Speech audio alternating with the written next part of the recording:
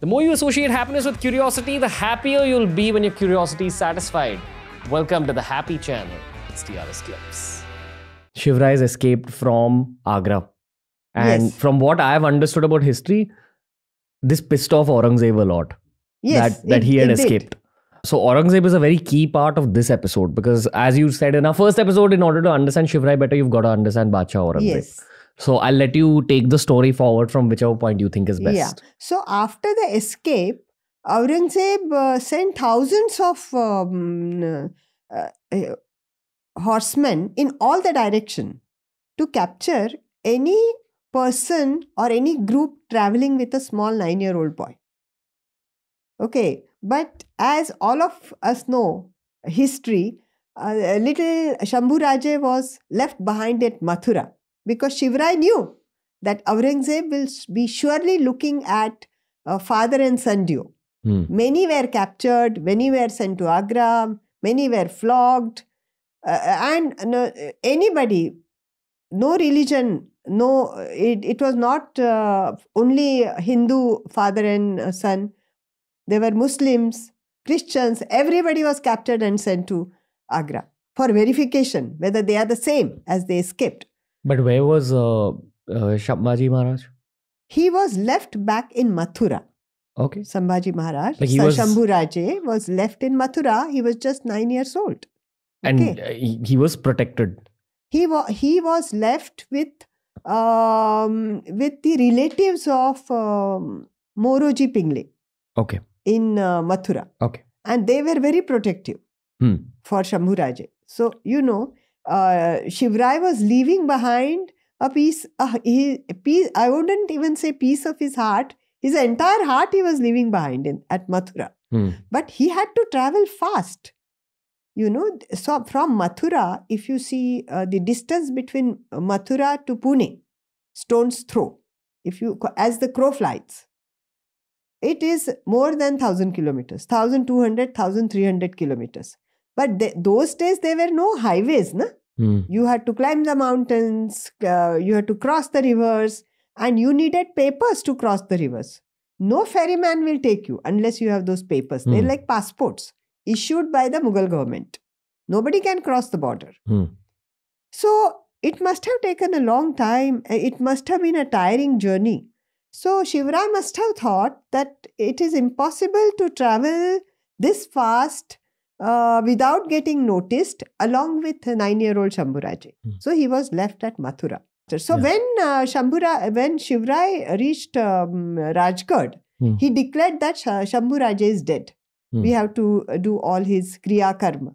Why? Because then Aurangzeb will not search for Shambhuraje. Hmm. So that's how it was happening. Hmm. But what are the repercussions uh, of this escape? Now Shivrai has escaped, he's safe in Raigad. Nobody can touch him. Later on, Shambhu Raja escaped, also reached Raigad. That itself is an enthralling story. Now you know Ram Singh, who was Mirza Raje Jai Singh's son, who looked after Shivaji at Agra. Hmm. This Ram Singh, after the escape of Shivaji, was sent to Assam to fight. It's like a kind of a punishment. What was happening in Assam? Assam, were uh, rebels and then they were, um, you A know, home, Ahom empire. Ahom empire. Yeah. And they were, they were like those, they were tribes also, which I said, no, they were Yeah. cannibalistic tribe, uh, tribes and they were cruel tribes. They could hack you to death. They were like jungle people. So it was always a punishment if you are sent on these frontiers by your Badsha. And this Hmm. was a punishment to Ram Singh because Shivrai had escaped. Just want to give a small piece of information here. The Yeah. military personnel we've had on the show Yeah. have always said that the Northeast was the most difficult place to go and fight. Yes. And they're saying that about the 90s and 2000s. So I can't imagine what it was 200, was. 300 years yeah. ago. It was a watery, marshy land all over. my, my point of highlighting all these different aspects is that we have the Mughal Empire in the middle, in and around Delhi and that whole northern belt. Yeah. And then under that, we've got the Maratha Empire. On the west, we've got the Sikhs. On the east, we've got the northeast. So Yeah. I feel like Aurangzeb wasn't just kind of getting attacked by Shivra. There was a lot of people's eyes on Yes, Aurangzeb, and lots of people wanted to kill him. Yes, so Tegh Bahadur Singh actually fought for the Mughals in the beginning along with Ram Singh in Assam. But he was of a thought, he was a very strong person. He thought equality and uh, justice are the most important, more than anybody's religion. Equality and justice are the most important things for humans. Mm. Okay.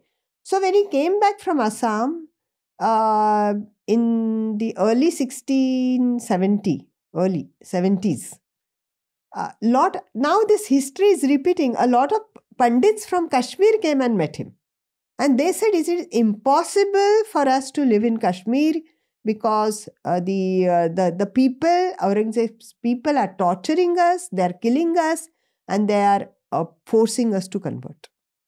When he heard this, when he heard this, he changed his mind and he went against Aurangzeb. And revolt happened. That revolt, Aurangzeb really cracked down on that revolt Tegh Bahadur Singh was captured in, in 1675 or 1674 or 75, uh, April, I think, he was brought to Chandni Chowk. And there were his uh, seven or eight of his uh, uh loyal people in front of him. They uh, Aurangzeb ordered to kill them, and one they say was thrown into a boiling oil in front of Tegh Bahadur so that he changes his mind. They asked him to convert. He refused. And then he was hacked to death, limb by limb. And this was, uh, this is known, Guru Govind Singh, his uh, son, escaped this. And then he was so fired by his father's um, uh, sacrifice that he uh, started Khalsa. That every one person in a Sikh family will be devoted to army or a military person. That's where I think the Sikhs actually became a warrior class. They became a warrior class. See how one act of this a butterfly effect of Aurangzeb's uh, fanaticism and bigot. Uh, he was a bigot, and his fanaticism. This is the result of that. And then when uh, Shivrai took over one fort after another, and uh, he they even what they did, Shivrai did, he also went into Konkan and established. See, he is the only person I feel, I don't know in history now, who did not have a coast. His Jagir or his little Swaraj, when he said it did not have a coastal line, but he dreamt of navy. Mm. What is the basic requirement for a navy? A coast. That itself he did not have. So he had to acquire the coast who the coast, of, the west coast, like Konkan, uh, the strip, narrow strip that goes from Mumbai till Goa, that was majorly controlled by Adil Shahi. So, what he did in this peace period after he came back and escaped from Agra, he tried to establish his rule in Konkan. Okay. He, he knew his limitations. What is the most important um, quality of a statesman? That the state, statesman must know his or her limitations, how much they can push.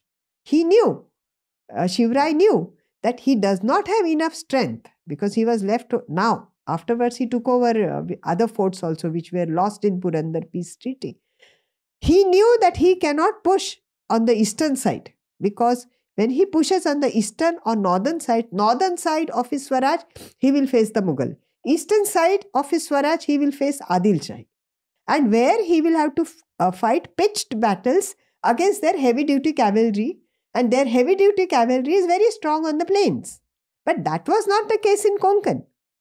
Konkan is a very rough uh, land. You know, there are there are straight um, uh, rock faces, Hmm. and then in Konkan itself, hundreds and hundreds of rivers come from the mountains and join the sea. So that entire area is very difficult to move. So he concentrated on Konkan. He had to get uh, the coastal part. He had to acquire ports. He had to start building sea forts.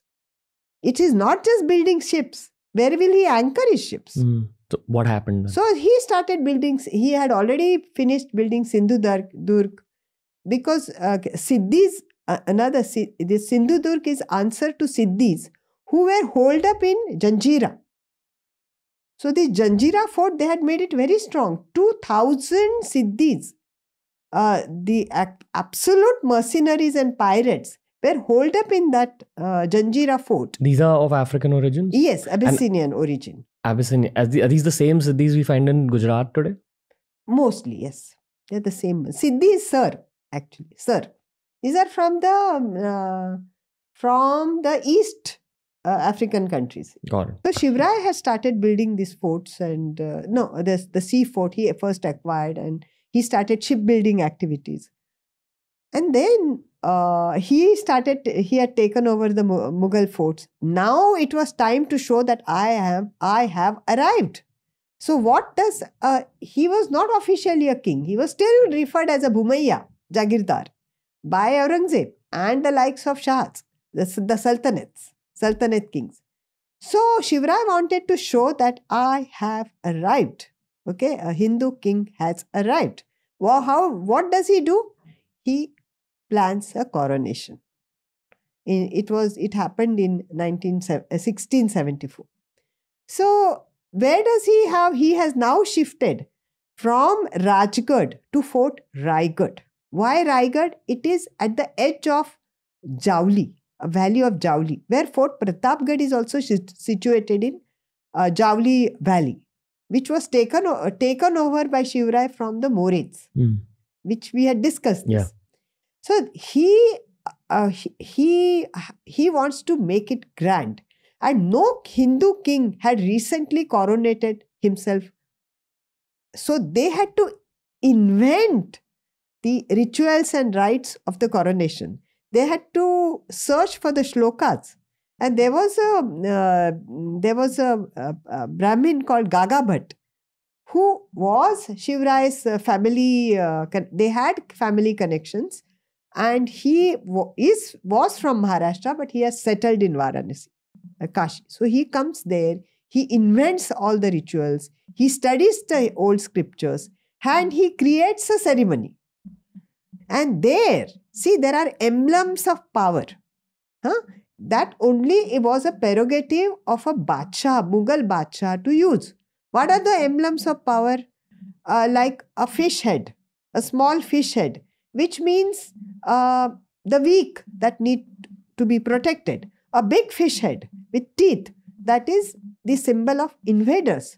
Then there are many like swastika, the symbol of swastika, that is Suvastu, which is actually a blueprint of a fort. So there are many emblems, and no Shah, the Sultanate uh, Shahs could not use those emblems. This was the prerogative of Aurangzeb. But uh, Shivrai used those emblems, created those emblems, and used them uh, in his coronation ceremony. Okay.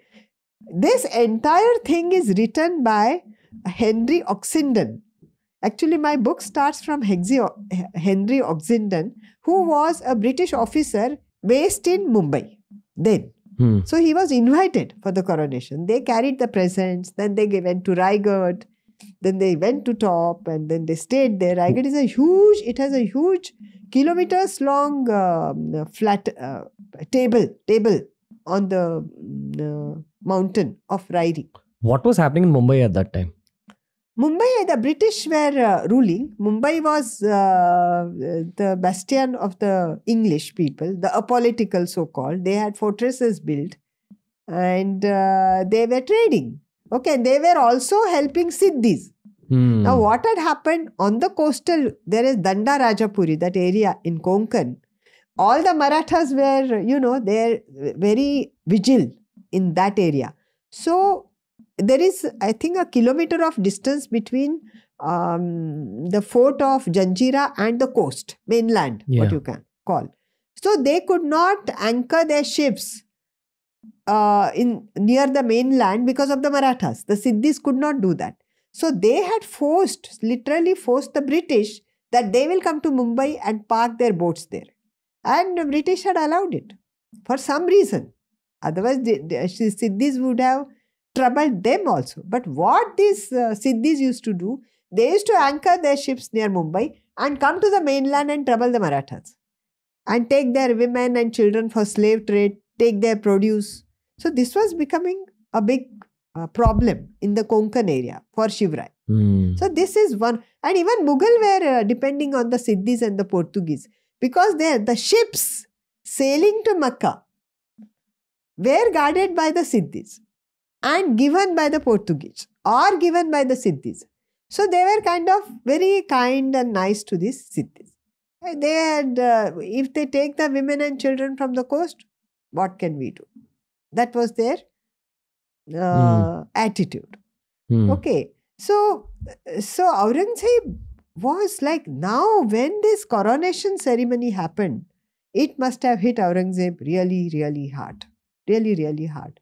So it is um, that time he started demolition of the temples, you know, in full swing, and he also thought of reinstating jizya tax, which was cancelled by Akbar the, the emperor Akbar. I'm not talking about his son Akbar. Okay.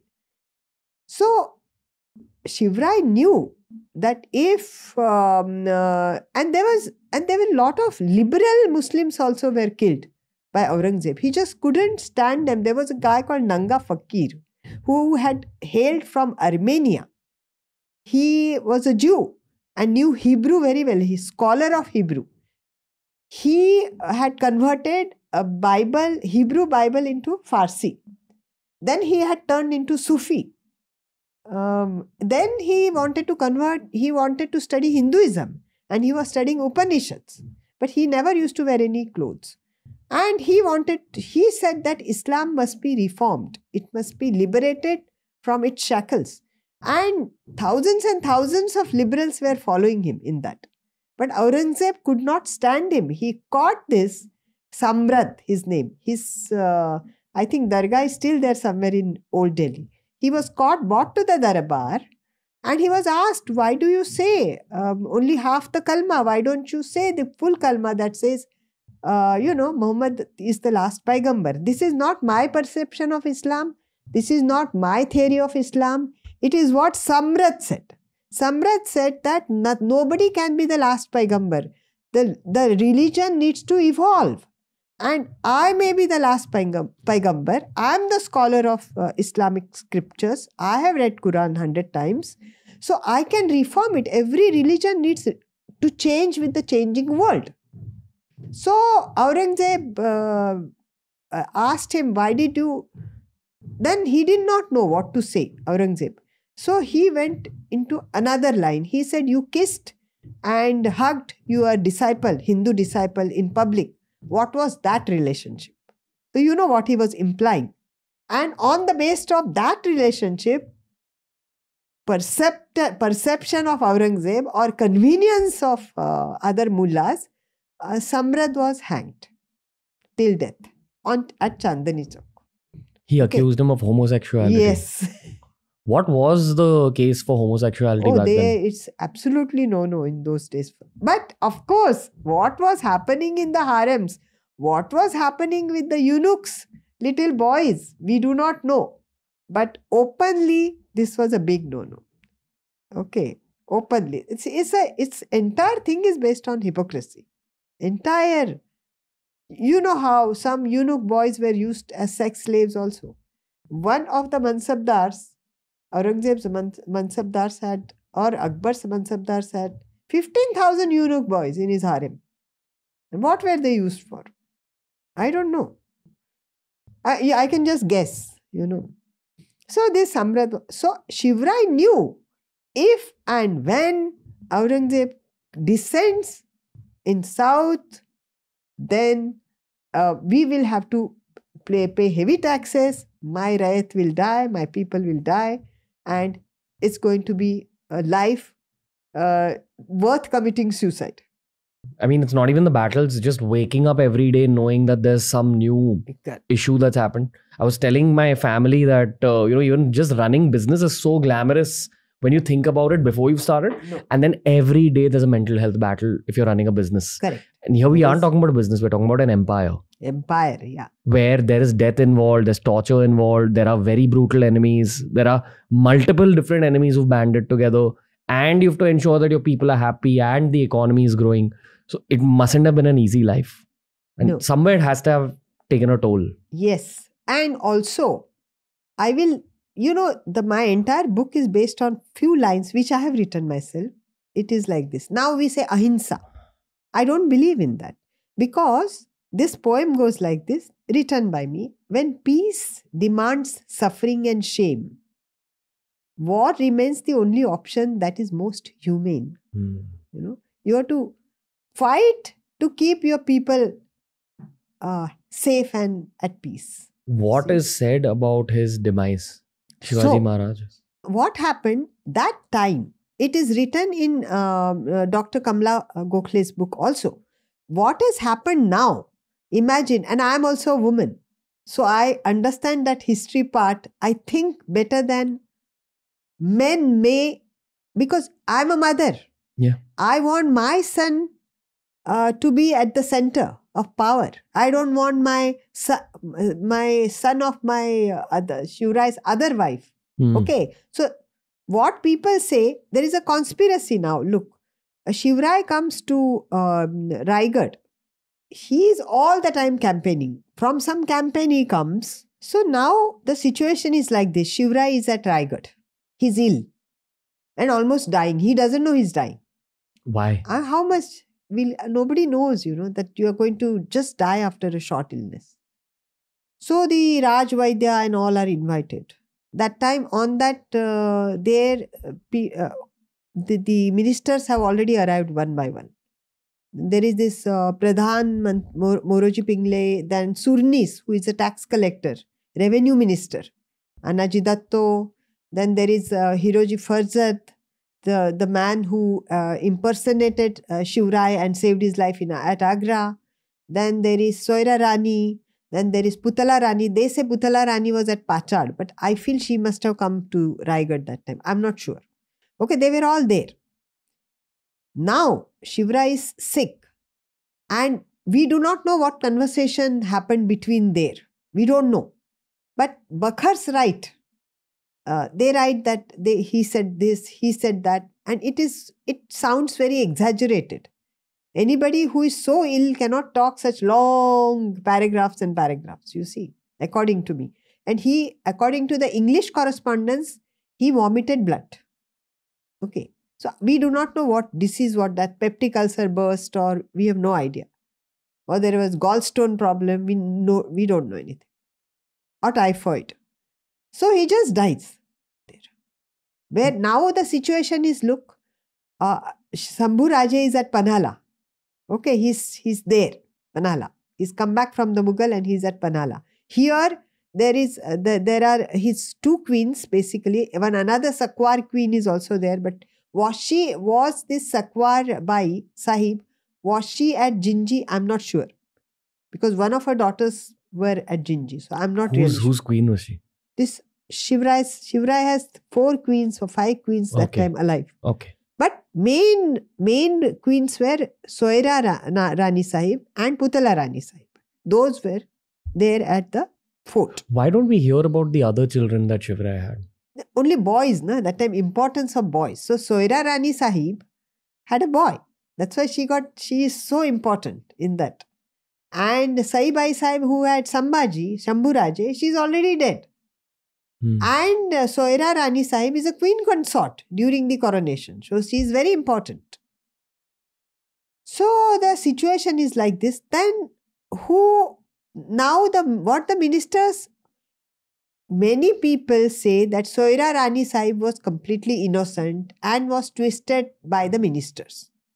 Ministers who Annaji Datto, Somaji, his brother Somaji Datto, and um, uh, Balaji Au- Auji, the script, uh, the, the the ones who write all the letters for Shivrai, and then Morupan Pingle, they um, they instigated Soira Rani. She was very bhola bhali, bhola, uh, very innocent, and she the entire thing was twisted by the ministers.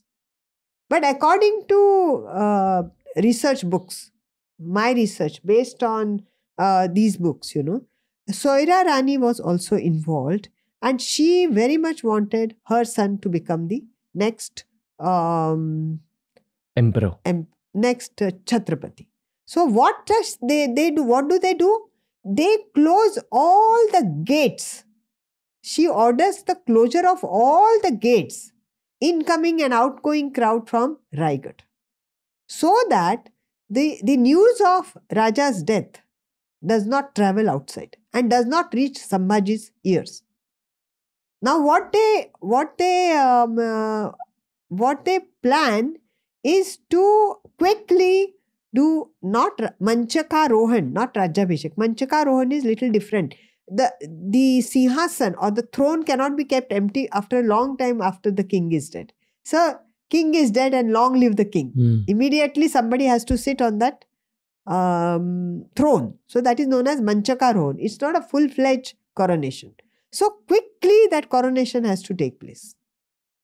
And I feel, I feel that the, the ministers and Soira Rani Sahib both were equally responsible. See, what would have happened?